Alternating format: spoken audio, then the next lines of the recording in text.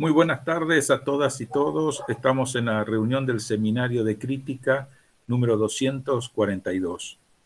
En este caso va a ser la presentación la doctora arquitecta Marta Mirás. La presentación lleva como título Una aproximación a la historia del paisaje desde la perspectiva socioambiental. Van a ser sus comentaristas la doctora Janice Atsbury y por parte del Instituto de Arte Americano la arquitecta Julieta Perrotti Poggio. Marta Mirás es doctora, es arquitecta, especialista en historia y crítica de la arquitectura, el diseño y el urbanismo por parte de la Facultad de Arquitectura, Diseño y Urbanismo de Buenos Aires, y en diseño y planificación del paisaje por la Universidad Torcuato Di Tella. Es investigadora principal del Instituto de Arte Americana, americano, autora de distintos libros, capítulos de libros, artículos, Dicta seminarios de posgrado y maestría en universidades, tanto nacionales como internacionales. Ha recibido numerosos premios y distinciones individuales y colectivas. Entre ellos cabe destacar el primer premio de la Sociedad Central de Arquitectos y el CEPAU 2014 en la categoría Investigaciones Publicadas. Vamos a dar inicialmente la palabra a Marta Mirás para que haga la presentación de su trabajo y posteriormente a las comentaristas. Adelante, Marta, por favor. Bueno, muchas gracias Rodolfo por la presentación y Eduardo por la asistencia. Voy a compartir pantalla, esperemos que resulte bien. Bueno, entonces voy a comenzar. Eh, como su título lo indica, esta es una primera aproximación y sobre todo está basada en una pregunta, ¿podemos reconocer un giro ambiental en la historia del paisaje? En esta breve presentación y para ajustarme a los tiempos, no voy a hablar tanto del texto en sí, de lo que está presentado, sino más bien compartir con ustedes algunos eh, criterios, sentidos, vínculos que se desprenden del texto presentado, un poco como su aura. Eh, la primera cuestión, eh, justamente por qué seleccioné esta imagen, bueno, como en otras oportunidades, miré la producción de un muy buen fotógrafo, arquitecto, colega de la facultad, Ricardo Palmadeza, porque creo que tiene la capacidad de a través de la luz y de los contrastes generar imágenes potentes. Esta para mí un poco representa la eh, relación, confrontación entre artificio y naturaleza, ¿no? La, las marcas de la urbe, la calle costanera y la naturaleza casi espontánea de la vegetación costera y del humedal. Creo que justamente eh, estas, juntamente con, un eh, leve guiño a lo social, creo que estas son problemáticas que están en el texto presentado y que de alguna manera esta fotografía revela a través de un orden de lo visual. En relación al marco eh, conceptual y metodológico, utilizo la metáfora del rompecabezas de piezas que no encajan y uno diría quizás no tienen por qué encajar. Un poco las encrucijadas de la historia que plantea Halperin Dongi. Creo que como toda historización implica, esta implica un recorrido de los, de los posibles la selección de algunos interrogantes y la aceptación de que va a haber múltiples vacíos. Creo que ante la complejidad de un enfoque socioambiental pude comprobar que algunas de las claves estaban en las mismas definiciones de paisaje que daba cada autor como una suerte de teoría del paisaje que allí estaba.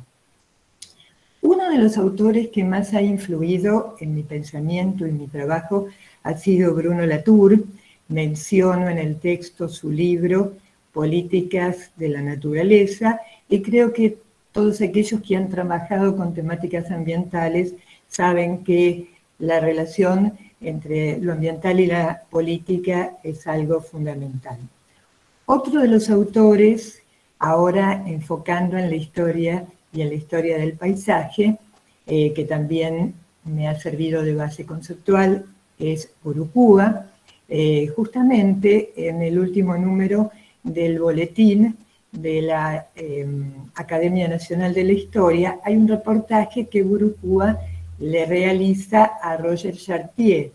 Justamente creo que es su referente en gran medida y en el reportaje hay varios guiños a esta idea que plantea De historia y ambivalencia, que sobre todo creo que se vincula al objetivo que está planteado en este trabajo de lograr una visión más integradora del conocimiento y en otras palabras dar cuenta de la complejidad y no de la linealidad de los procesos históricos.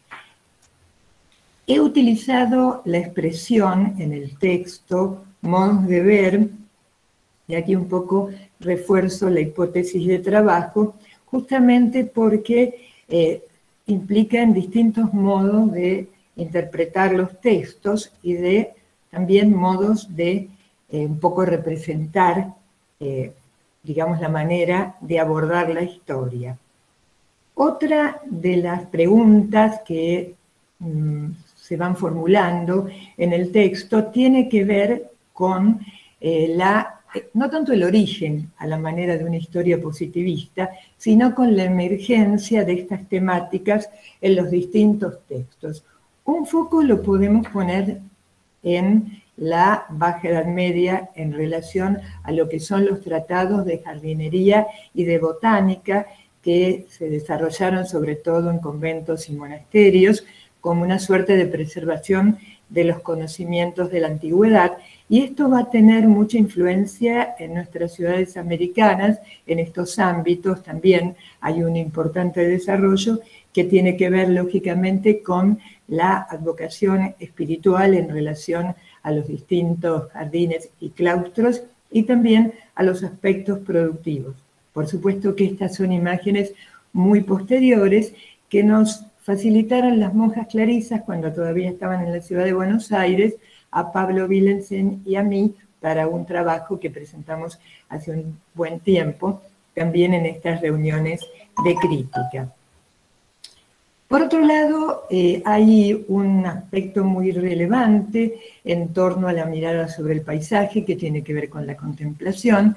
Estoy ejemplificando con unos muy hermosos dibujos de los múltiples de Leonardo da Vinci y su modo de ver el paisaje y también el mundo de la naturaleza, eh, justamente para marcar esta, esta línea, digamos, vinculada a lo que tiene que ver con el desarrollo o la emergencia de la perspectiva lineal y el desarrollo del realismo, un modo visual, si se quiere, de, eh, digamos, de ejercer un cierto control sobre esta visibilidad, sobre esta visión y también sobre el mismo territorio, como lo ha señalado Crossbow. Em, por otro lado, bueno, el, eje del trabajo está puesto en la evaluación crítica de la bibliografía. Creo que, digamos, me pareció que en el ámbito del paisaje era una suerte de tarea pendiente. Eh, la revisión de ciertas, ciertas compilaciones historiográficas y también un poco marcar ciertas tendencias dentro de la historiografía, como, eh, digamos, si tuviéramos que poner una escala dos, momentos, o dos maneras de abordar muy, eh, digamos, muy desarrolladas. Una tiene que ver con una visión panorámica, con historias que muestran eh, la transformación del paisajismo a lo largo del tiempo y por el otro lado, eh, digamos, trabajos que abordan un caso de estudio, ¿no? una obra en particular. Ejemplifiqué con este libro justamente porque me parece que es como una suerte de visión ya madura de esta, esta, eh, de esta línea historiográfica, donde con el adecuado formato de la antología reúne a unos 50 autores y donde también, desde el punto de vista que me interesa destacar, aparecen algunos textos donde la cuestión que tiene que ver con temas ambientales y el ecologismo ocupa un lugar central. En el desarrollo del trabajo yo planteé eh, aspectos vinculados con la historia del medio ambiente o del ambiente y, cómo, y con la historia de la e, ecología, pero en realidad podemos mencionar sin duda otras líneas, justamente eh, la, la etnohistoria, la etnobotánica, la geografía histórica, dependerá del problema que uno va a abordar, cuál es la línea de estudios más adecuada para articular con el conocimiento histórico. Creo que he tomado estas dos líneas justamente porque eh, la historia del medio ambiente se ha planteado como un, ámbito de conocimientos muy específicos en relación al tema y también la historia de la ecología en un presente signado por problemáticas de cambio climático, de crisis de biodiversidad, bueno, ocupó un lugar central. Y como base de esta imagen, utilicé unas imágenes de libros, de, particularmente de este texto, de Gilles Clemens, El jardín en movimiento, porque creo que dentro de las recientes teorías del paisaje es la que más está en vinculación con un abordaje que tiene que ver justamente con una visión vinculada con la biología y con la permanente transformación de los paisajes. Aquí entonces quise referir a un relevamiento que realizamos en relación a los trabajos de nuestra facultad eh, vinculados a esta temática. En realidad se trata de un trabajo que presenté en la Universidad de Sheffield antes de la pandemia, en este seminario Verde y Azul, repensando las estructuras urbanas de Latinoamérica, con un estudio de los trabajos que se están realizando en nuestra facultad en, en términos cuantitativos y en términos cualitativos, situando tendencia, agrupando temas y problemas, y creo que, bueno, lo interesante es marcar que es un mundo de mucha riqueza y que, por suerte, está en crecimiento. Otro de los aspectos que quiero destacar y que, bueno, lleva décadas eh, con publicaciones en esta dirección, yo tomé aquí también un texto que fue un poco producto de la Carta de Florencia del 2000 y en el 2004 se va a eh, configurar el, Observatorio de Cataluña y de algún modo este texto recoge la producción de tres seminarios, la construcción social del paisaje, bueno, porque es un aspecto central y justamente nosotros que concebimos la historia como una manifestación de lo social, creo que, eh, bueno, estamos ubicados en que el, ser humano forma parte directa y este, está en absoluta eh, vinculación con todas las transformaciones de lo biológico y del paisaje. Y para esta diapositiva tomé como base una foto que para nosotros tiene una gran significación, ya que eh, fue sacada por dos arquitectas paisajistas em, bolivianas, ya que están realizando un trabajo con esta comunidad que está eh, cercana al lago Titicaca. De hecho, esa imagen que mostraba recién es la que utilizamos como base del Seminario de Paisajes Originarios de este año, que justamente contamos con la presencia de estas colegas. Y eh, quiero marcar que hace cinco años que venimos realizando estos seminarios, de hecho en 2017, en una de las reuniones de críticas, presentamos un trabajo sobre paisajes originarios. Bueno, me parece que es un aspecto historiográfico ah, importante a destacar, donde la vinculación con la arqueología del paisaje juega un rol muy importante.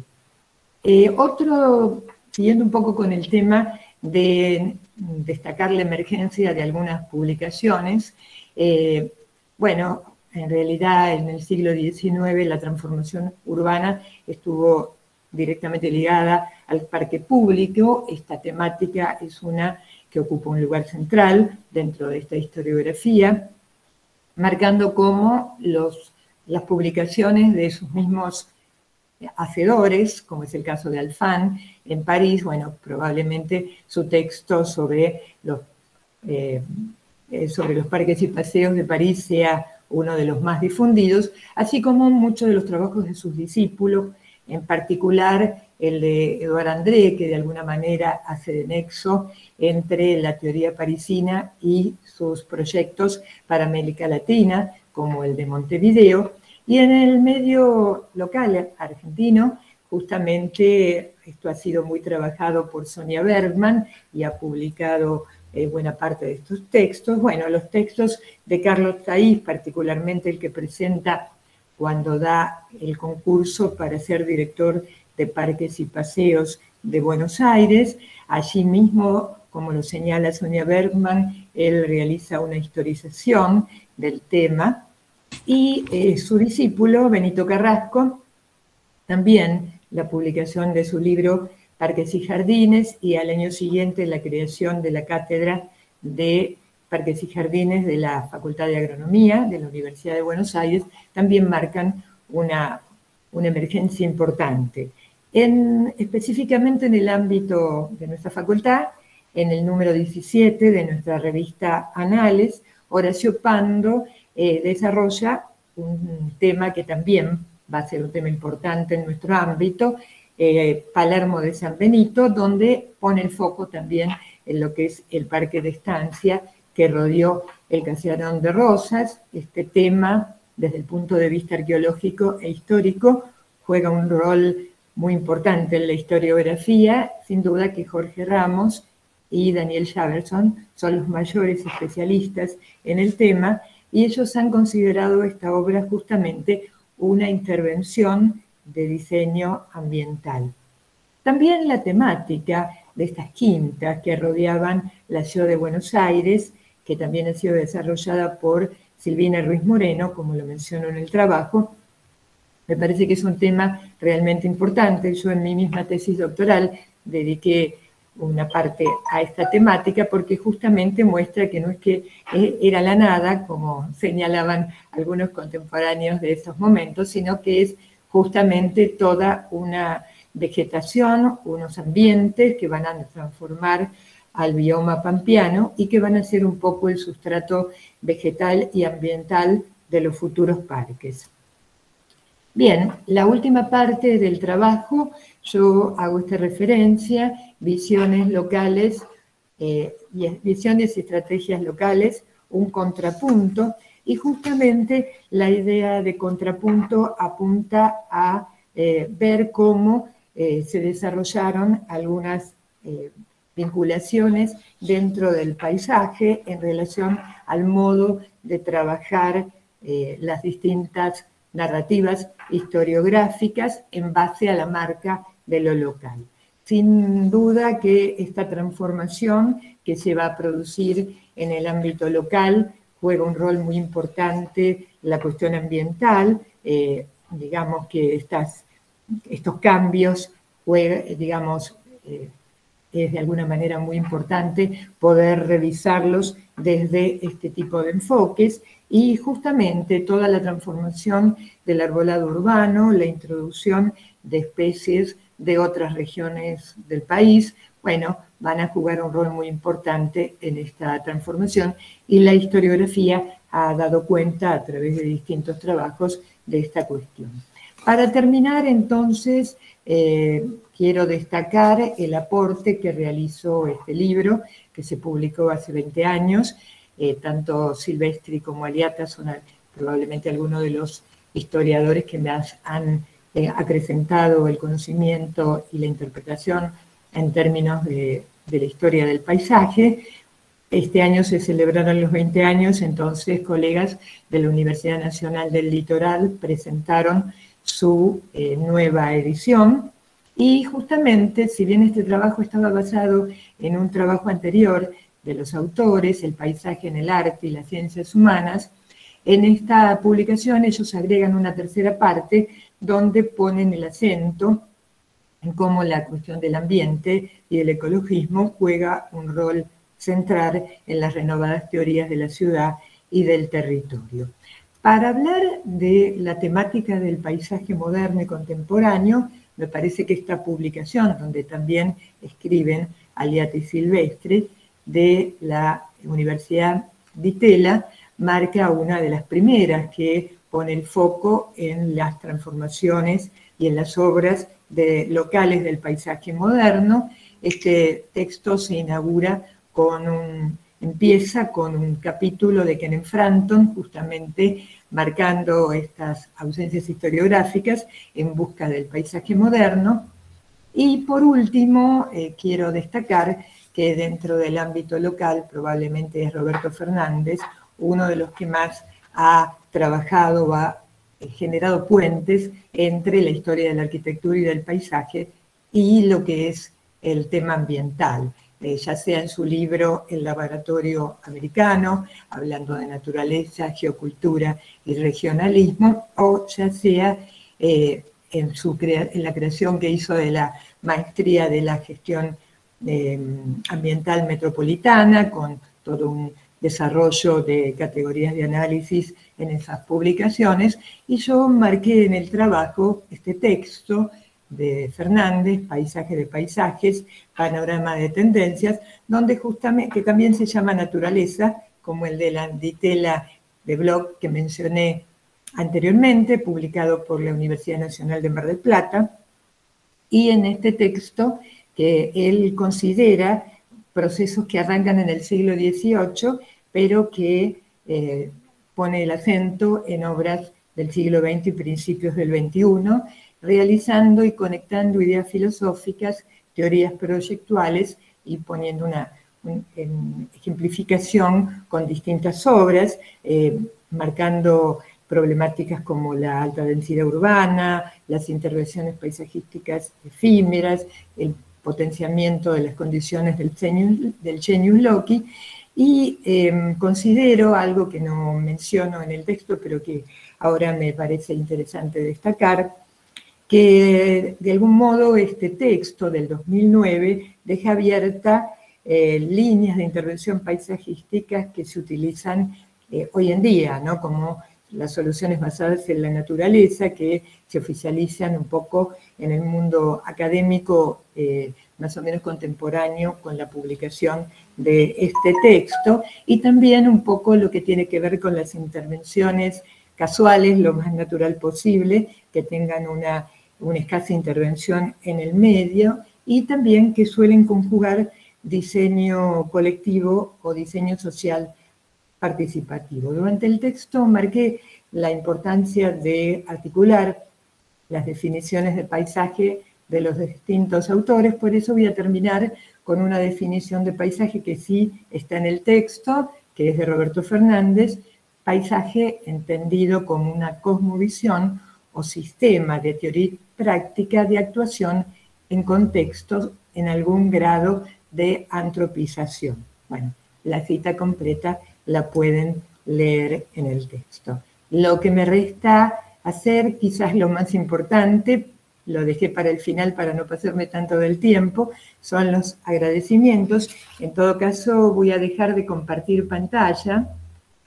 Bueno, entonces eh, me tomo unos minutos para eh, hacer agradecimientos, no solamente por lo personal, que sin duda es algo, porque gente que me ha facilitado su tiempo y muchos de ellos mm, me ayudaron a mapear ciertos senderos, sino sobre todo porque se trata de personas que han contribuido mucho a este campo de saberes.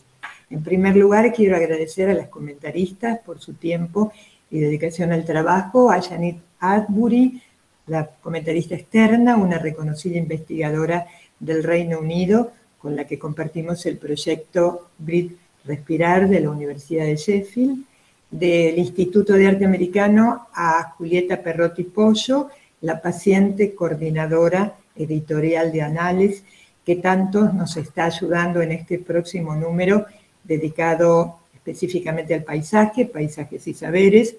Y hablando de análisis, quiero agradecer a los otros dos editores, a Pablo Willensen, que tuvo la deferencia de leer este texto y hacerme muy importantes, eh, interesantes sugerencias, y a la profesora e ingeniera agrónoma Verónica Fabio, coequiper de Tantos Sueños, y porque también ha contribuido a pensar los temas del paisaje desde la perspectiva ambiental.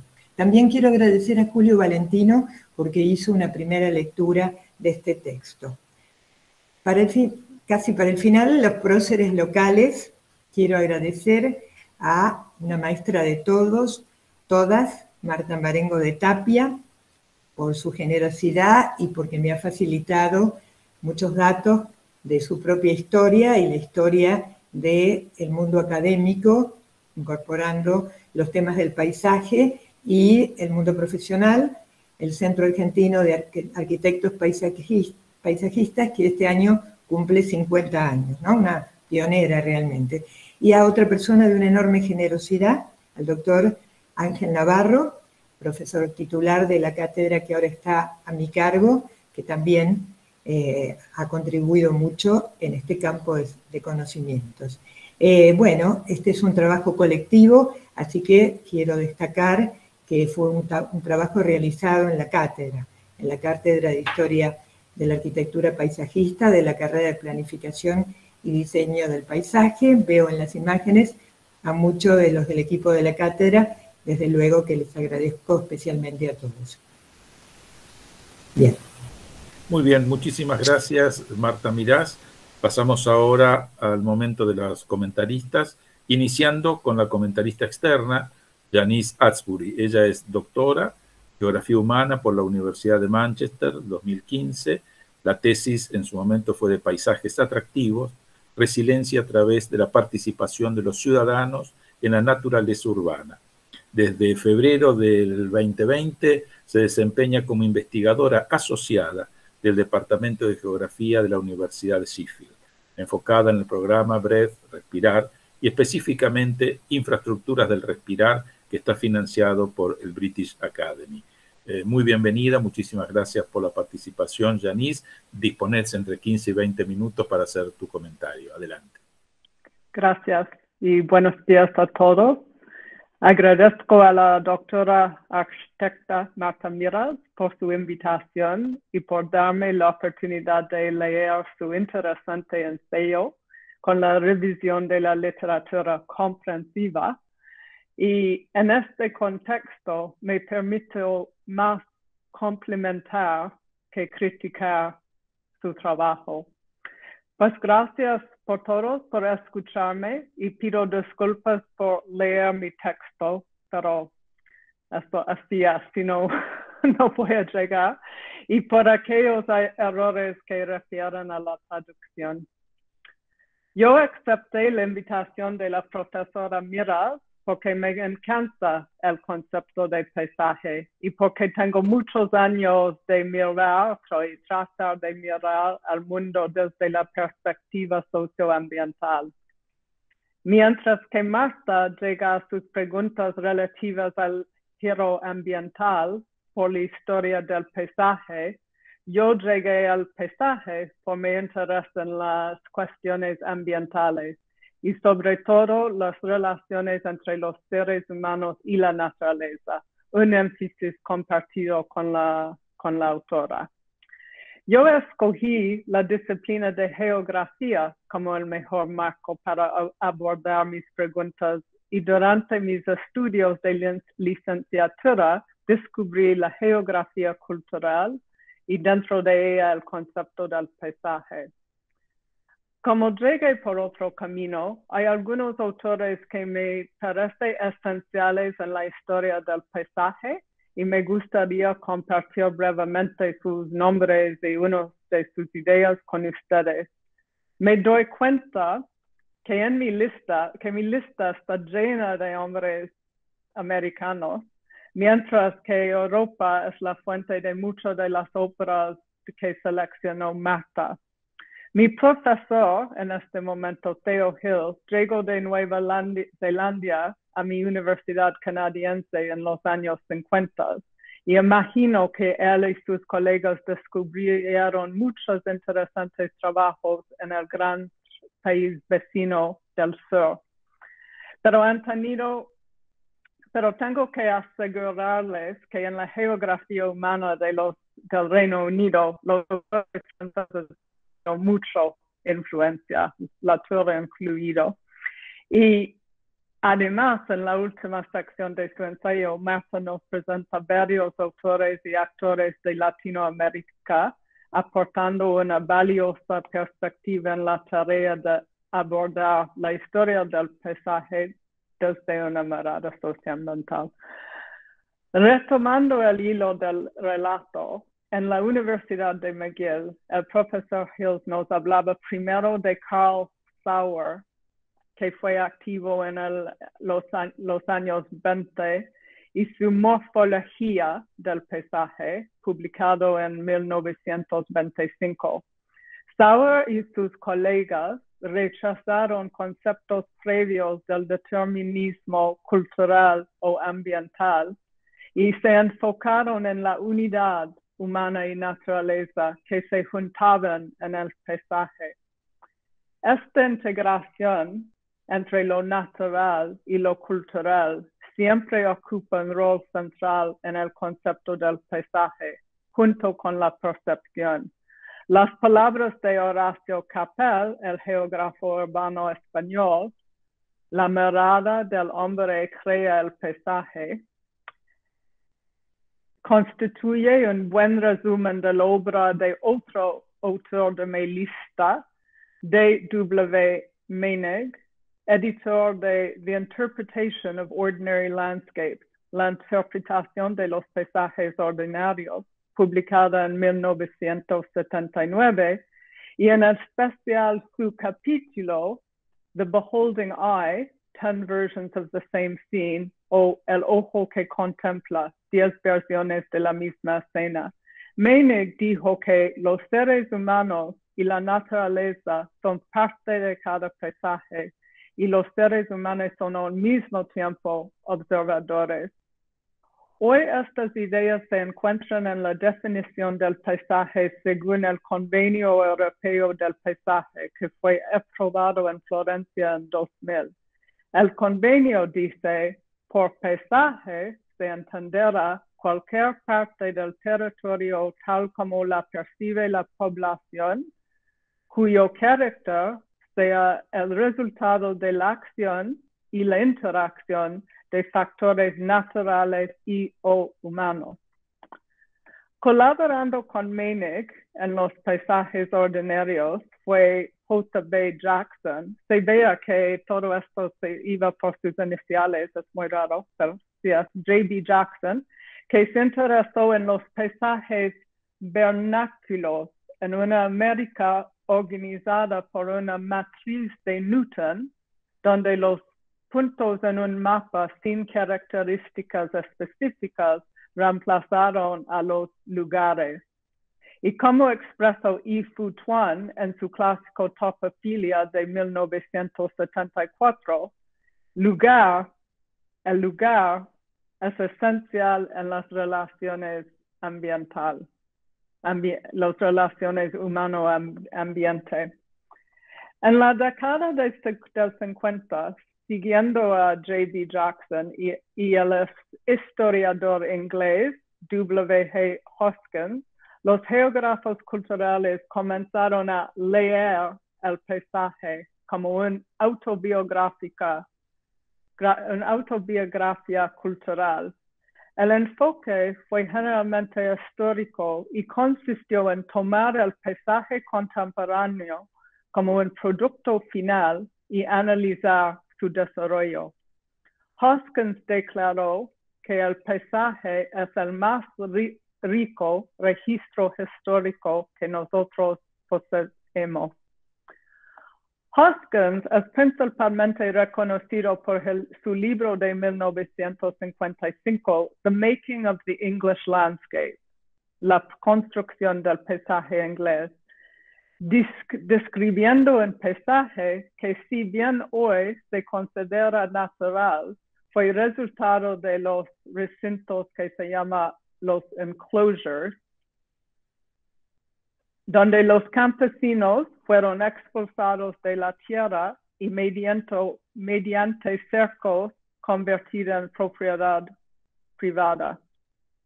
Dennis Cosgrove, a quien Marta también refiere, escribió sobre un cuadro cuyo título era Pasaje del tren y que retrata el paisaje descrito por Hoskins. Cosgrove notó que el pasajero del tren tiene ahora una relación de turista con el paisaje en el lugar en donde sus ancestros vivían.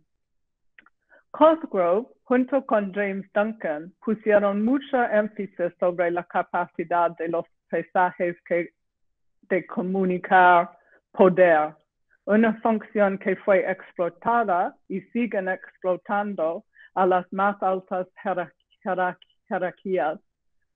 A Duncan le interesaba mucho la idea del paisaje como texto, el paisaje como un medio de comunicación, tal como menciona Marta relativo a la obra de Nogue, la construcción social del paisaje.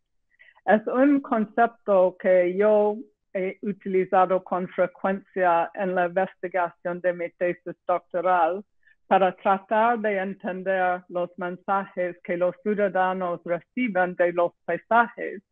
Y así mediante, mediante la adaptación de los mismos pueden constituirse en un mensaje invitando a los ciudadanos para que interactúen, yo diría colaboren con la naturaleza de una manera de aumentar la resiliencia del sistema socioecológico. Al nivel más teórico, propuse que el paisaje puede ser una, la ventana para ver y intervenir en el mecanismo subyacente que es el sistema socioecológico. Permítanme tomarme unos minutos para compartir de la historia del concepto de sistema sociológico como un parte al valioso recorrido que nos propone Marta. En términos generales, el socio y el ambiental se analiza de modo separado. Estudiamos sociología o ecología. Cuando pensamos en la ecología de un área, suele omitirse la presencia de los seres humanos que viven dentro o que manejan este sistema. No consideramos a los seres humanos que afectan y o que están afectados por el ecosistema. En los años 60, el ecologista canadiense C.S. Holling estudiaba el manejo de bosques en los Estados Unidos y descubrió que el ecosistema forestal no estaba en equilibrio ni tratando de alcanzarlo como fue la teoría aceptada.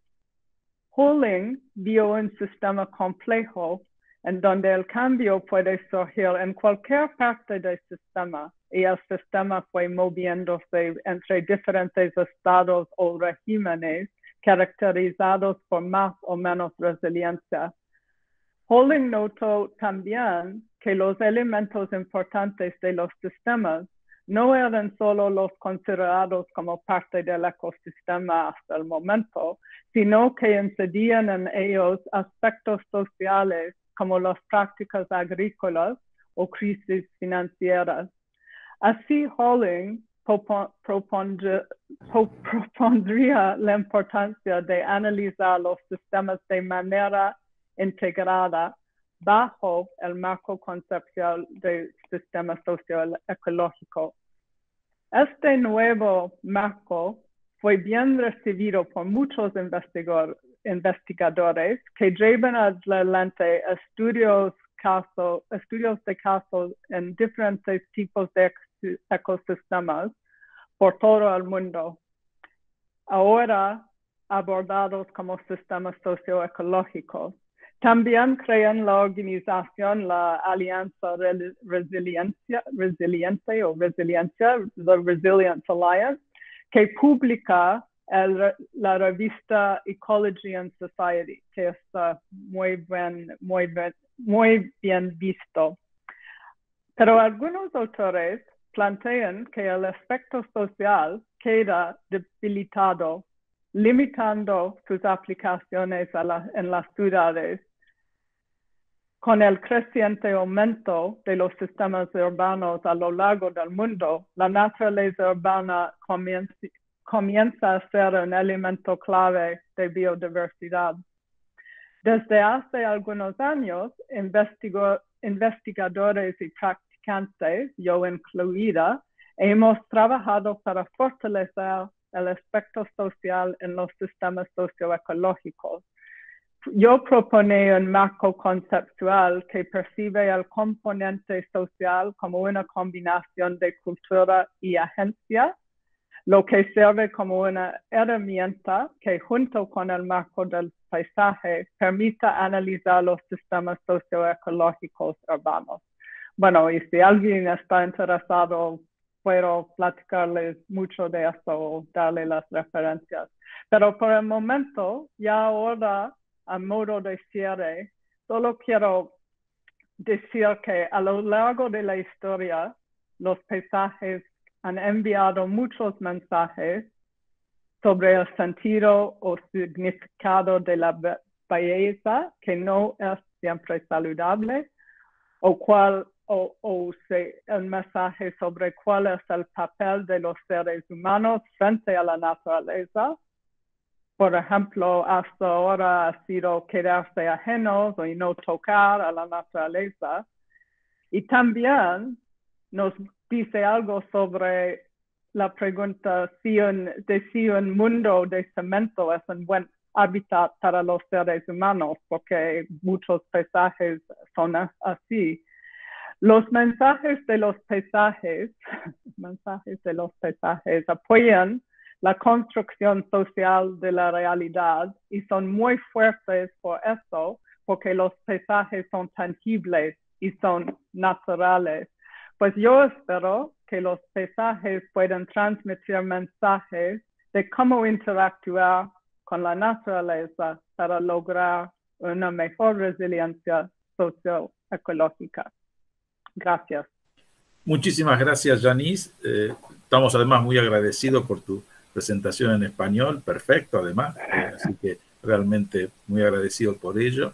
Ahora vamos a la comentarista interna del Instituto de Arte Americano, que es eh, Julieta Perrotti Pollo. Ella es arquitecta, egresada de la Universidad de Buenos Aires, es especialista en gestión del patrimonio cultural integrado al planeamiento urbano de América Latina, Cátedra UNESCO, Centro de Conservación Integral Urbana y Territorial, CESI, y Universidad eh, Federal de Pernambuco, Brasil. Es magíster en formación de formadores, Facultad de Filosofía y Letras de la Universidad de Buenos Aires. Adelante, Julieta, por favor. Muchas gracias, Rodolfo. ¿Se me escucha bien? Perfecto. Bueno, agradezco antes que nada a Marta por haberme invitado. Es un tema que la verdad que me está empezando a apasionar desde que acompaño a Marta, a Verónica y a Pablo en este nuevo análisis que se está editando, que la verdad que los felicito, también aprovecho para felicitarlos porque es un tema maravilloso y cómo lo están llevando también merece sus felicitaciones. Y así un poco quiero sumarme a lo que decía Yanis, que también le doy la bienvenida a este seminario, un poco la lectura del texto que nos justamente nos da un recorrido, como bien lo pudo mostrar Marta en el PowerPoint, un recorrido historiográfico sumamente minucioso, eh, detallado, riguroso sobre justamente la historia del paisaje. Mi, digamos, mi participación tiene más que ver con quizás algunas ideas y conceptos complementarios que pueda sugerir como decía Yanis, para seguir profundizando sobre todo ese cruce de narrativas que ya bien explicaba en el texto y que también lo planteó en, la presentación ahora, mediante esa incorporación de la mirada ambiental y ecológica. Eh, la visión de este cruce me parece interesante porque propone configurar nuevos interrogantes y como la misma Marta establece y especifica en las reflexiones finales, incorporar nuevos temas problemas. Eh, que quizás aún no hayan sido indagados con profundidad desde el enfoque que ella propone de ese giro ambiental.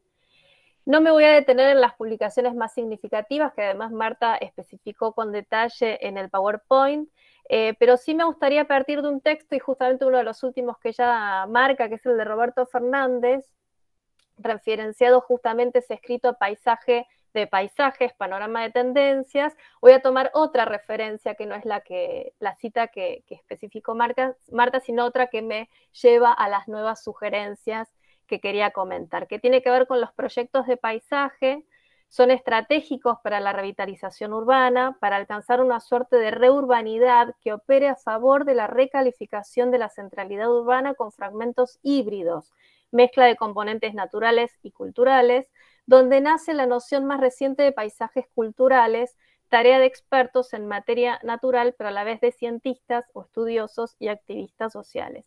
Y aquí es donde yo me voy a detener para eh, desarrollar una serie de conceptos que me, parecía, me parece que podrían llegar a aportar al, nuevo desarrollo de estos interrogantes que Marta propone.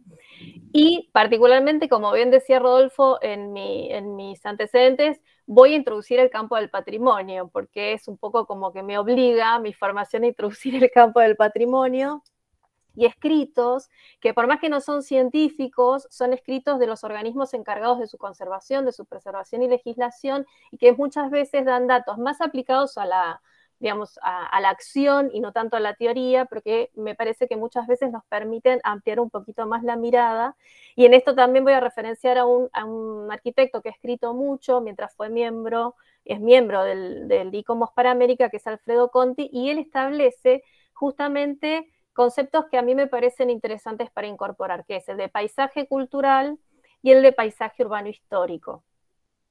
Y esta noción de paisaje cultural como categoría patrimonial fue adoptada hace muchos años, en el año 1992, fue incluida en las directrices prácticas para su implementación y lo que establece la noción de paisaje cultural, que me parece que hay muchas puntas, hay como muchas aristas que por ahí quizás en los estudios que, que está desarrollando Marta pueden servir, reflejan no solo técnicas específicas de uso sostenible de la tierra, manifiestan la consideración de las características y limitaciones del entorno natural en el que se establecen, ilustran una relación espiritual, que lo veíamos con el tema de los paisajes originarios, específica con la naturaleza, a la vez que su protección contribuye a la preservación de la diversidad biológica. Entonces, todas estas aristas me parece que tienen mucho que ver con lo que Marta viene desarrollando y además eh, en los escritos de Conti se propone clasificar en tres subcategorías esos paisajes culturales.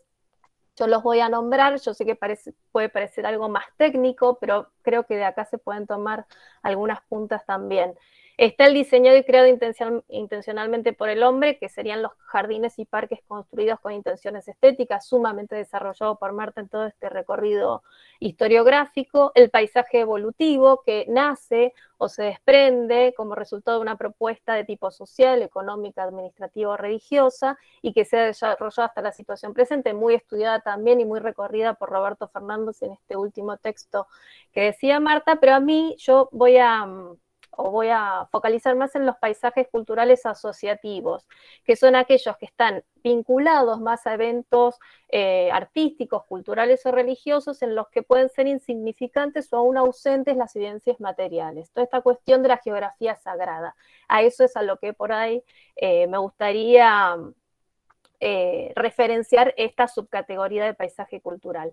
Son componentes puramente naturales en los que justamente el componente cultural es el que le da significado eh, y justamente con la relación con el ser humano. Y está representado particularmente en todas las culturas andinas y mesoamericanas a través de ciertas prácticas y creencias justamente estableciendo el papel de geografía sagrada en relación a las montañas, a los ríos o a los árboles sagrados. Eh, todo lo que tiene que ver con estos dos conceptos eh, está permanentemente en debate, como pasa en todo el campo del patrimonio. Son conceptos que se siguen eh, reevaluando, reestudiando, que se siguen discutiendo en función también de la, del vértigo y sobre todo ahora post pandemia no quiero ni pensar en el vértigo que tienen todos esos, estos sitios patrimoniales. Pero me parece interesante sobre todo cuando puede verse en, las publicaciones del patrimonio mundial cuáles son estos paisajes culturales y particularmente asociativos, tenemos ejemplos como eh, el paisaje de Capagñán, que fue declarado en el 2014, que más allá de ser eh, Em, una, digamos, un camino inca, como se establece, eh, lo que muestra también es el nexo, la conexión entre comunidades, el nexo entre ciudadelas importantes para la cultura inca, o por ejemplo, otra cuestión que retomo del texto de Marta que establecía eh, y destacaba los modos de producción como también generadores de paisaje. Eh, hay un paisaje cultural cafetero colombiano declarado en el 2011 que también muestra esos modos de producción y cómo esos modos de producción se relacionan con las regiones urbanizadas con claros rasgos coloniales. Y en este sentido destaco particularmente un paisaje cultural que es el de la quebrada Humahuaca, que después me voy a referir eh, posteriormente por otro concepto que me gustaría señalar, que tiene que ver justamente no solo con su rico patrimonio cultural, sino con las transformaciones que no solo la quebrada, sino las distintas ciudades que la eh, integran, fueron desarrollando a partir de, la declaratoria. Digamos, las transformaciones socioterritoriales son las que me parece que em, se podrían focalizar un poquito más. No me voy a detener mucho en el paisaje urbano histórico porque justamente el tema de la ciudad o de la ciudad como paisaje también es bastante discutible y no creo que tenga demasiado vínculo con lo que plantea Marta y me parece que además las ciudades históricas se encuentran bajo otro tipo de presiones que marcan, eh, digamos, de otra forma su, su impacto, el cambio climático, la urbanización desmedida, el turismo de masas, la explotación comercial, y creo que son cuestiones que más Yanis en la cuestión socioambiental eh, ha desarrollado y nos ha explicado de mejor forma. Pero me parece que eh, la incorporación del campo patrimonial y particularmente del concepto de paisaje cultural podría llegar a ser una, una sugerencia a tener en cuenta, una arista a poder desarrollar en este sentido y eh, un poco porque como, como establece la autora dentro de estos nuevos interrogantes, lo que establece Marta es que son parte eh, el tema del paisaje de los debates actuales en materias de transformación socioterritorial, como decía justamente en los paisajes más contemporáneos. Y aquí me detengo justamente en la idea de transformación. Me parece que es un concepto que es eh, muy pertinente para el desarrollo, que afecta bastante a todo este recorrido historiográfico que, Marta propone. Y ahí sí, como, como comentarista interna, voy a sugerir la, incorporación del de, eh, escrito y del libro de otra eh, investigadora interna del instituto, que es la doctora Constanza Tomei, que en la serie tesis, en su libro, eh, de Ciudad Huerta a Pueblo Boutique, Territorio, Patrimonio y Turismo en Purmamarca, 1991-2014, plantea justamente en su estudio sobre Purmamarca eh, la serie de interrogantes sobre ese proceso de transformación territorial que sufrió eh, esa localidad a partir de la declaratoria de la quebrada de Humahuaca como paisaje cultural. Creo que eso generó impactos, cambios que se identifican con este proceso socioambiental y particularmente los efectos que eso generó en la comunidad. Entonces ahí vuelvo al libro que Marta también nombró y utilizó en su seminario que tenía que ver con esta construcción social del paisaje, cómo esas comunidades eh, son impactadas por estas declaratorias, como el turismo de masas, porque turismo y patrimonio además son como eh, conceptos que se relacionan y que en su relación generan justamente una complejidad a veces muy difícil de abordar y no deja de afectar justamente la conformación del paisaje. Entonces me parecía que eh, tomando también, incorporando un poco todo el estudio que, Constanza hace, justamente relacionando patrimonio con turismo y cómo esto afecta a la conformación socioterritorial de un paisaje cultural de nuevo tomado desde el campo del patrimonio. Y también eh, todo este, digamos, esta, esta mirada eh, me parece que es eh, interesante para que esto Marta lo, desarrolla, eh, ver el tema de la representación, digamos, el paisaje como representación. Ella misma lo estableció desde, la, desde los textos de Roger Chartier, el mundo como representación y cómo esa mirada narrativa también aporta muchísimo. Y, Marta lo, establece también desde la literatura de viajeros, citada en el texto, a modo de justamente conocer esa construcción imaginaria y en relación al otro americano. Yo también este, por mi formación sigo haciendo, eh, eh, especificándome en lo que es América o los pueblos originarios. Y también em, voy a, tomar un autor que Marta también lo desarrolla, que es Denise Cosgrove. Ella lo desarrolla en un texto del 85, yo tomé un texto del 2002 que plantea al espectador y esa relación del paisaje como representación el espectador que selecciona, que compone y enmarca lo que ve, convirtiendo el espacio material en paisaje. Este es un texto de Cosgrove del año 2002 y que justamente en este texto que se llama Observando la naturaleza, el paisaje y el sentido europeo de la vista, que está en español, en un boletín de geógrafos españoles, analiza cómo las imágenes del paisaje construyen a la vez que reflejan la expresión geográfica de identidades sociales e individuales, explorando la expresión de identidades sociales en el paisaje. En este texto no solo expone diversas formas de representación del paisaje, sino que su desarrollo propone abordajes, me parece que muy interesantes en este contexto y en el, en, el, digamos, en el contexto del, texto de Marta, el vínculo entre paisaje y clase o proceso social, entre paisaje e identidad, paisaje y género, y paisaje y territorio. Y todo esto se vincularía notablemente con el enfoque propuesto por ella sobre el giro ambiental reconocido en todo su escrito y posible de ser sumado quizás a los interrogantes que Marta propone. Así que un poco como Janis es más una mirada complementaria de posibles aristas que podrían llegar a desarrollarse más en profundidad en tu investigación. Así que bueno, nuevamente muchas gracias, espero no haberme pasado en tiempo. Este... Muy bien, muchísimas gracias, este, Julieta. No, los tiempos están perfectos.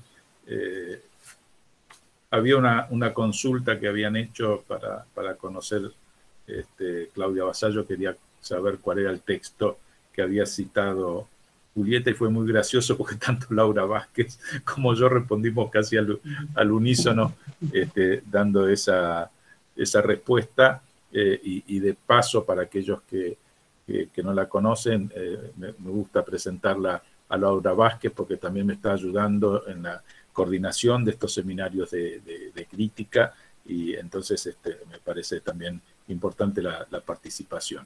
Eh, habíamos eh, sugerido para este momento del seminario aquellos que quieran efectuar eh, al trabajo de, Marta Mirás alguna pregunta o algún comentario que podían hacerlo, es decir, simplemente anotándose por, por el chat para de esa manera ordenar eh, por así decirlo, una, lista de, expositores. Eh, de no haber preguntas o no haber comentarios, luego estaríamos pasando directamente al cierre que puede hacer eh, Marta Mirás sobre el encuentro a partir de lo que dijeron las, las comentaristas y demás. Así que si alguien quiere hacer estos preguntas o comentarios, desde ya con mucho gusto mientras esperamos eh, simplemente poder comentar la importancia que tuvo la obra de Humboldt para traer el concepto de, paisaje en su acepción moderna, por así decirla, es decir, en el siglo XIX, es decir, que se diferencia de todas las situaciones previas, y esto que, refería también Julieta, me parece es un caso muy interesante para analizar, el de la quebrada, las declaratorias eh, son para preservar. No siempre el uso que se hace después de ellas este, se logra y lamentablemente generan perjuicio. Participé de esa declaratoria desde la Comisión Nacional de Monumentos eh, y realmente eh, siempre hay que tener presente en la mirada que hay momentos que son críticos, hay momentos que son eh, realmente alarmantes. Eh, en la quebrada se iba a construir, por un lado, un gasoducto y por otro lado, un tendido de alta tensión. Es decir, que ese paisaje iba a quedar definitivamente anulado. Por eso, en menos de un año se hizo la presentación a UNESCO para salvarla de ese grave problema. Lamentablemente, los consejos que se dieron oportunamente, porque esas declaratorias son pesadas, implican cosas sobre el territorio, no siempre se respetaron, no se tuvieron en cuenta, eh, y entonces después se puede hacer una evaluación sobre beneficios de esas declaratorias o perjuicios. Pero sí tener en cuenta que cuando se hacen, se las hace para este, preservar. Nunca la declaratoria está para hacer el perjuicio de algo, pero sí hay que ser muy cuidadoso con todo el sistema ¿no es cierto?, de gestionar eso, porque implica algo que eh, eh, realmente es bastante, bastante fuerte. Bueno, tenemos algunos este, comentarios, es decir, en el caso de Alicia Fernanda Ságuez Silva, nos agradece las visiones múltiples sobre el paisaje, que considero que justamente como construcción conceptual y social debe pensarse como múltiple. Eh, no veo que haya alguna pregunta o comentario, personas que quieran hacerlo, con lo cual, eh, si les parece bien, vamos a darle la posibilidad a Marta Mirás de hacer su cierre y desde ya agradeciendo a todos, que hemos tenido una participación muy alta, esto que se decía al principio de los beneficios de lo virtual, que seguramente junto a lo presencial va a seguir estando, van a convivir, este, nos ha posibilitado en los seminarios de crítica acceder a un número este, muy importante y de muy distintos lugares, lo cual eso se enriquece mucho a la participación, así que les agradecemos profundamente. Adelante, Marta.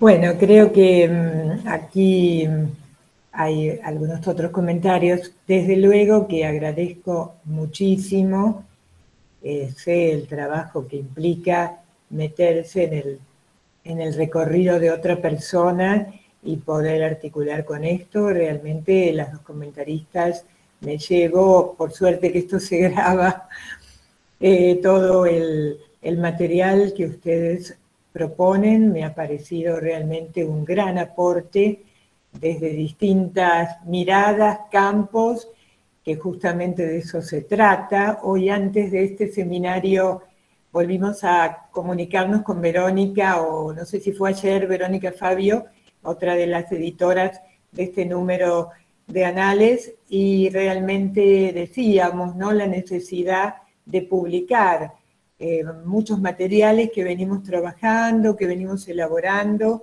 veo a la gente de la cátedra, porque bueno, eh, me costó hacer esta presentación, me costó sintetizar tantos años de trabajo en estos materiales, pero bueno, realmente creo que eh, estamos en un momento de gran avance y replanteo de muchas cuestiones vitales, ¿no? Para nosotros como insertos en el mundo y para nosotros como representantes de una universidad, como parte de un mundo académico y social.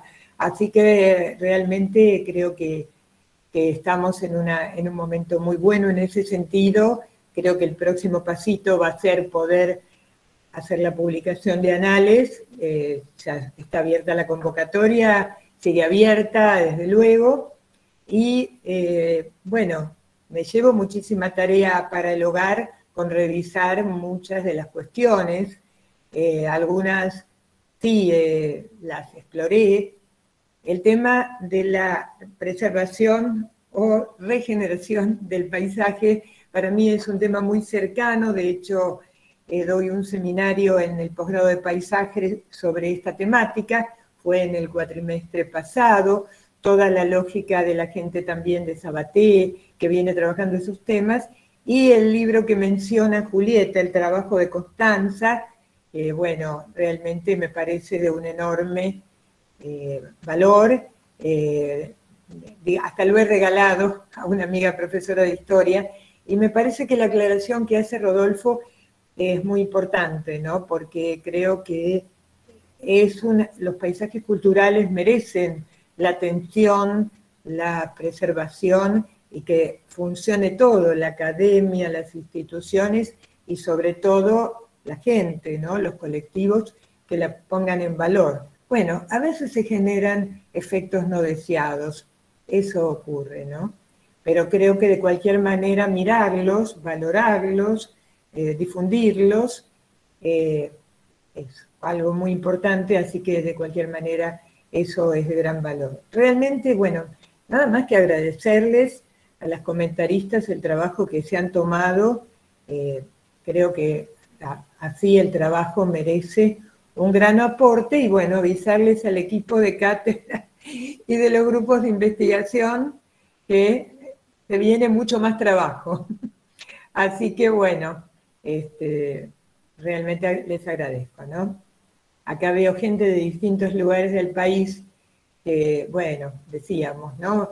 Hemos eh, avanzado en estas redes que propone la TUR a través de, digamos, creo que es una de las grandes cosas que toda esta situación complicada, negativa de la salud que nos ha traído la pandemia, bueno, nos ha traído como bueno el poder incentivar aún más las redes de trabajo y también poder realmente achicar las distancias, ¿no? Estamos todos muy cerca y creo que todos de una u otra manera eh, valoro mucho eh, el castellano, aunque sé que lo sabe bien, de Janis, porque cuando tengo que hablar en inglés realmente es un enorme desafío, Verónica lo sabe, pero realmente creo que es un esfuerzo que vale la pena que hagamos, ¿no? Con los colegas de, de los distintos países, asimismo con Brasil, o sea, realmente creo que estamos tratando de superar esas barreras y lograr una mejor comunicación en el, conocimiento de estos temas que nos apasionan. ¿no? Así que bueno, bienvenido sea. Muchas gracias a todos. Y al instituto, por supuesto, a Mario Sabugo y a Ana Lan. Bueno, agradecemos a todos muchísimo la participación, por supuesto a Marta, a Yanis y a Julieta, es decir, como expositoras y comentaristas, y a todos los que estuvieron participando aquí. Y ya los estamos invitando para el seminario de crítica número 243, que va a ser presentado el viernes 24 de septiembre, y en ese caso va a estar a cargo de Lucía Carli. Desde ya muchísimas gracias y nos estamos viendo pronto. Hasta luego.